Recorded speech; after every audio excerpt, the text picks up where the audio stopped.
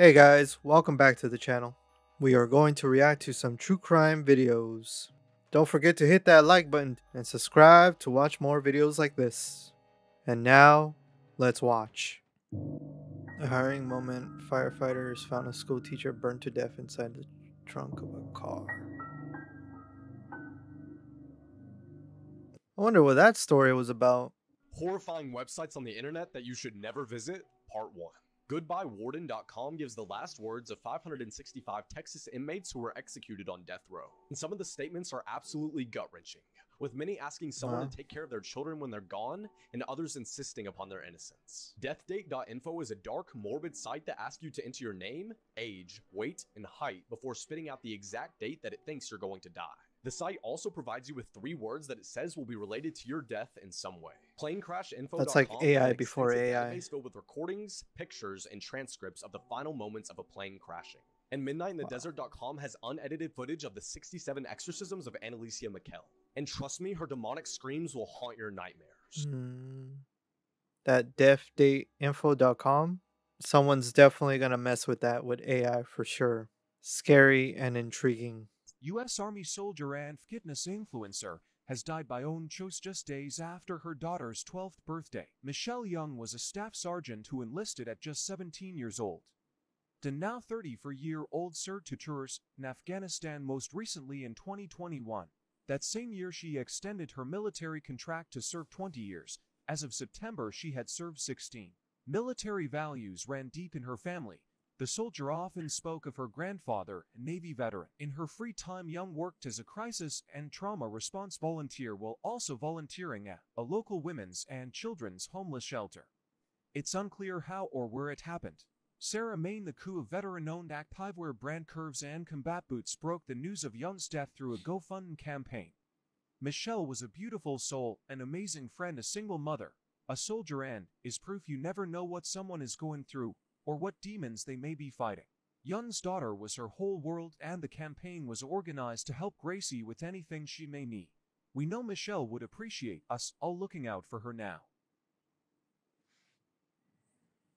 Yeah, hopefully her daughter is being well taken care of. Rest in peace. Did you know that Chris Watts, the man who killed his entire family in 2018, has seen his daughter's spirit in his jail cell?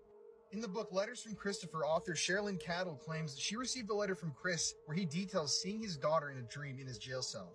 In this dream, he claims to have seen his daughter Cece dancing on the chair next to his bed in the cell. And he Hmm. claims that while he saw her dancing in the jail cell, the folders and other items he had sitting there started to move by themselves.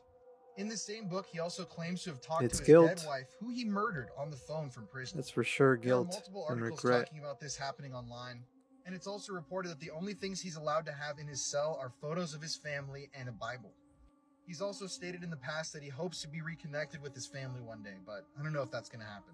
Yeah, I can definitely guarantee you that that's guilt and regret that he's envisioning through his head. This right here is a strange true crime case involving two sharks. In 1935, fishermen caught a shark and put it in the aquarium in Sydney. A crowd came to see the shark, and miraculously, great timing, it vomited a severed hand and a forearm out. The forearm had a boxing tattoo on it, and the hand still had fingerprints. It belonged to Jim Smith, a petty criminal and a boxer. Upon examination, it was found that the limb was deliberately cut off with a knife. This opened a whole murder investigation. What makes it more interesting, the tiger shark did not eat the human arm. A smaller shark ate it, and then the tiger shark ate that shark. Jim Smith, the boxer, was Wow. last seen at the Cecil Hotel with some business buddies. And by business buddies, I mean everyone that commits insurance fraud. Two men, Brady and Holmes, were both arrested on suspicion of the murder, and later on they confessed to doing it. Apparently, Brady cut up Smith, put him in a box, and tossed it into the bay. And that's when that shark ate the remains, and then the tiger shark ate that shark. It's kind of crazy how this whole thing came full circle like that. Let me know what you guys think about this It case in does. the comment section below. You know, he took the words right out of my mouth. Everything does come full circle. This woman got a man beaten to death in the streets of Baltimore by screaming. This is Latiqua Mays, and she was 20 years old when all this went down. So Latiqua had lived in Baltimore, Maryland for a very long time. So a little while before this incident, Latiqua was living in a boarding house with one of her closest friends. And one evening, this man named Donald Robinson broke into their room at the boarding house and assaulted her friend right in front of her. Now, obviously, this was a horrible thing for Donald to have done, But Latiqua didn't think that Donald had been given a long enough prison sentence for the assault. So one day while Latiqua was walking down the street in Baltimore with her father, she came across Donald. She saw him out in the free world. That's when she started to scream, He graped me, he graped me, pointing at Donald. Now, I'm pretty sure she didn't know exactly what was happening, but she incited people to violence and then ordered a group of men that were nearby to start beating him. So these young men who were at a basketball court nearby joined in. They started beating, punching, kicking Donald. They held him down and mercilessly beat him in the middle of the street while Latiqua pepper sprayed him. Wow. And later on, Donald was eventually taken to the hospital where he was pronounced dead from his injuries. Even Latiqua's own father, Willie Mays, joined in on the attack, and he was eventually sentenced to two years in prison for second degree murder. And Latiqua, she was sentenced to six years in prison. And for a while in her sentence, she was in solitary confinement. Now, I don't know what happened to her after all this. I don't know where she's at now. She's out of prison by now. But the mob violence in this story is absolutely insane. And I can't believe this man was murdered in the middle of the street in broad daylight by a Yeah. group of people. I mean, a beating would have been sufficient, but to flat out kill the guy in broad daylight, that's something else. Who are the adults. You can say that. I am saying that. I was by age. I was by age. And by Let's just say maturity. that. Ah, you maybe. You were a teacher, Mary. You Doesn't can't say I was immature. But you don't know him. No, but I don't need to know him in this discussion. He's the child. Who was I'm the talking boss? about you. Who was the boss? Who was the boss? What? Who was the boss back then? You know, then? there was me pursuing you. Who was the boss back then? this is ridiculous. No, So who lost. was? Who was? What is this Just about? say. Just say. Who was the boss? All I knew was what I knew back then.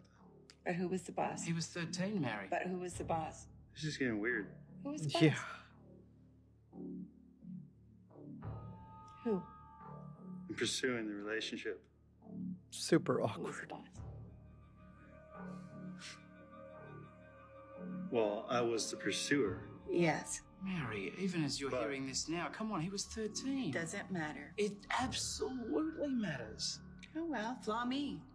Wow. Flaw me as a as an uh, As an um, adult? yes, flaw me. I did the Yeah. best I could. I was so lost in that until the end. Today's case is one that shouldn't have even happened. But unfortunately, many girls, just like Lily, will suffer the same fate that she did. In December of 2021, Lily was just 18 years old and she'd been out at a nightclub. And in said nightclub, she ended up meeting 31 year old Lewis Hain. Lewis was a father himself, and the pair were seen on CCTV leaving together. In the CCTV shown, it was clear that the two were getting on very well. It looked like they were having a nice time, and it appeared that they'd just sort of left the club to have a bit of time to themselves. However, Lily's mum was on her way to pick up Lily, which had been arranged, and Lily had kept in touch with her mum, letting her know that she was nearly at the arranged pickup spot, until eventually she stopped responding to her mum. The pair ended up heading down a back alley, and it's believed that because Lily ended up saying no to Lewis's sexual advances, he murdered her Mm, by forcefully ripping off her shirt and then strangling her and dumping her body into water nearby. To make this case even Wow. more heartbreaking, Lily's own mother had eventually ended up seeing Lewis walking down the street. She ended up looking at him and she thought he seemed odd, but little did she know he just murdered her own daughter. And to top off, and to just prove even further what kind of a person that Lewis is, he then got home and told his girlfriend, his long term partner, that he'd just strangled someone. And it was hours later when What? Lily's body was discovered.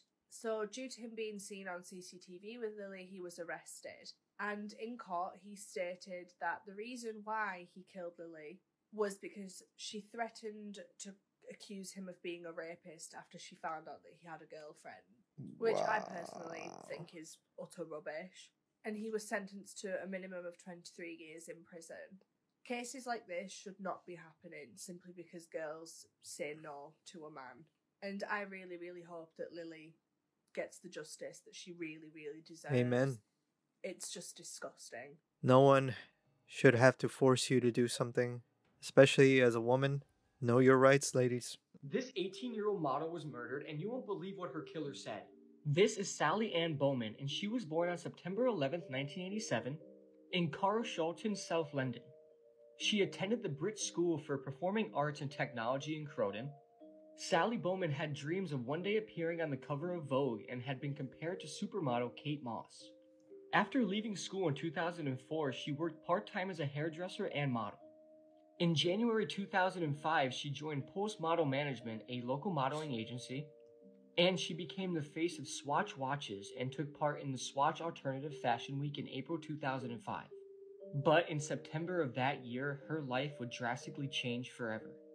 On the night of September 24th, 2005, Sally Bowman and her older sister Nicole and a group of friends went to Lloyd's Bar in Croydon, where they stayed until 1 a.m. After leaving the bar, Sally Bowman waited outside for 15 minutes before being taken to a friend's house by taxi. She contacted her ex boyfriend Lewis Sproston and he agreed to pick her up and take her home after she told him Nicole had been arrested for fighting.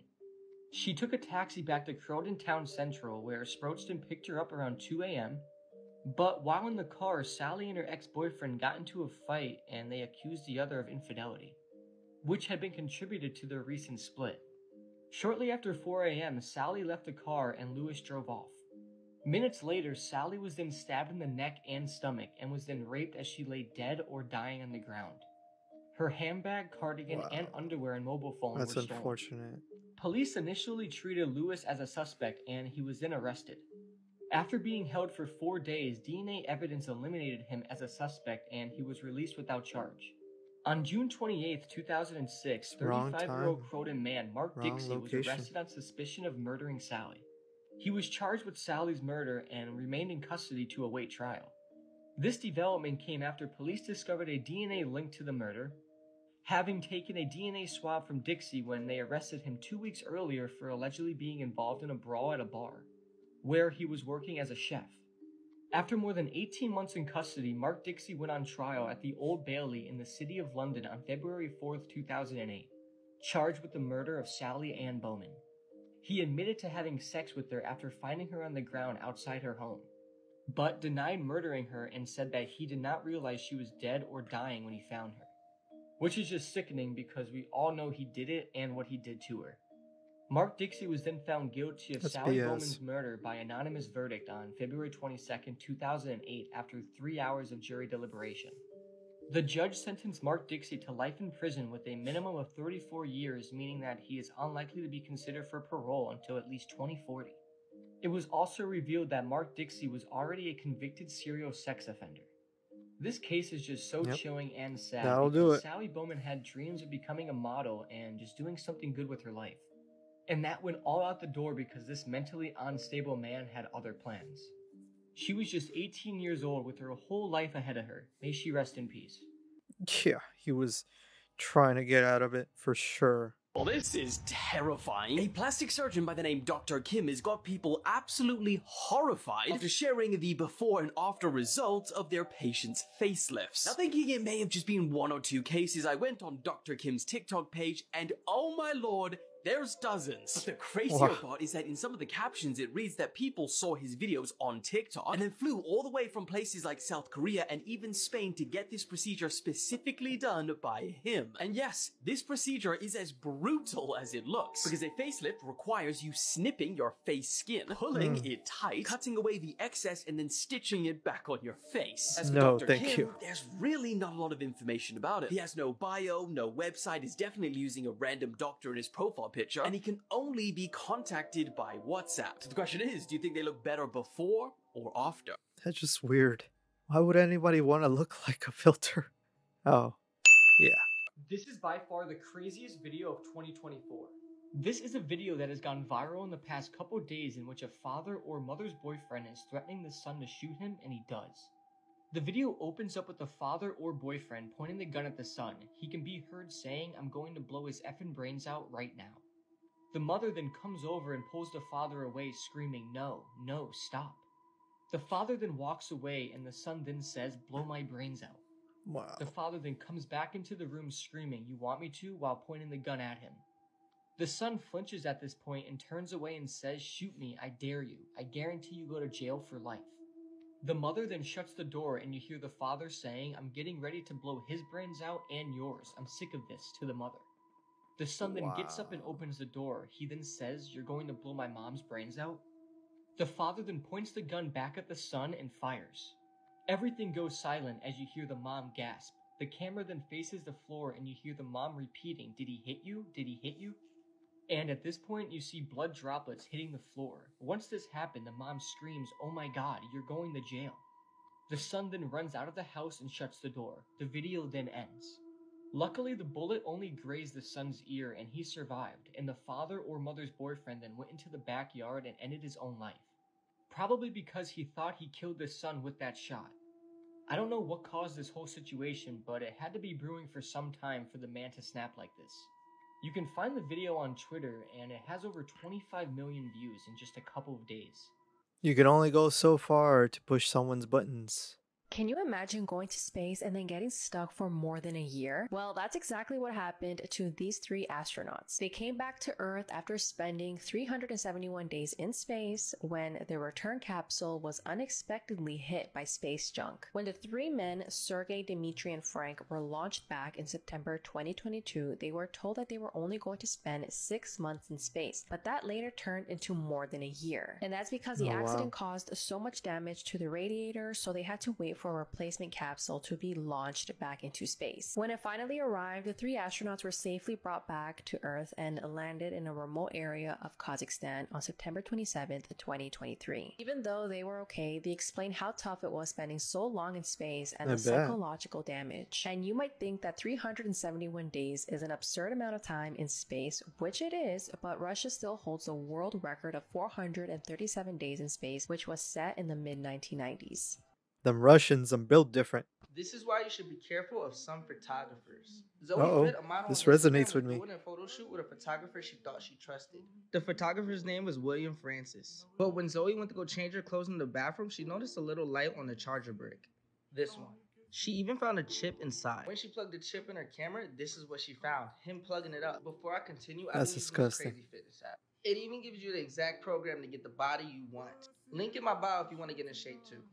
Zoe became devastated and even weirded Wait, what- was that an ad? situation. And the scary part is you can get these cameras at places like Walmart and Amazon. Shameless plug. Literally. Bro did a shameless plug, which was something supposed to be so serious. And he just put it in there. I don't know what's more cringy. Anyways, yeah, that's a big no no. Um be you know, be aware of your surroundings. It's a dangerous world out there. When this girl came home acting strange, her parents recorded her.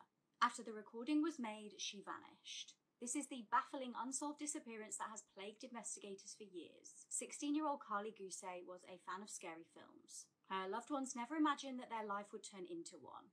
The teen left her home on the 13th of October 2018. It was the early hours of the morning and the night before she had been out with friends. It's reported that she lied to her parents about where she was going that night and reportedly asked them to pick her up. When they did so, she was running around acting really disorientated and not herself. Her dad, Zach, actually suspected that she had taken some kind of substance, which she had apparently admitted to. For this reason, her stepmom Melissa decided to audio record what Karlie was like that night so she could show her the next day. They hoped that by showing Karlie this, it would encourage her to not do the substances again. However, tragically, they would never actually see her again. It's Mm. believed that while her parents were sleeping, Karlie left the house and never came back. Eyewitnesses reportedly saw her walking south, approximately 30 yards east of Highway 6 and 100 yards south of Sierra View Road. She then seemingly vanished without a trace. Police were informed and set about trying to find Karlie. Melissa made a Facebook Live video 12 hours after the disappearance in the hope that it would attract attention and encourage her to come home. Her family were desperate for help and wanted anyone who knew anything to come forward. Despite no sign of Karlie, her family haven't given up hope. Now, interestingly, actually, Karlie's dad was arrested on unrelated DV charges. On what would have been Karlie's 20th birthday in 2022, an age progression picture was distributed showing what she may now look like. When she vanished, she was 5 foot 7 and weighing 110 pounds. Yeah, I wonder where she is now. Well, guys, that is the end of the video. Thank you so much for watching these videos with me and hanging out. What were your guys' thoughts on these videos? Would love to hear them. Let me know in the comments. And as always, I will see you on the next one. Peace. Hey guys, if you like this type of content, make sure to check out these videos. See ya.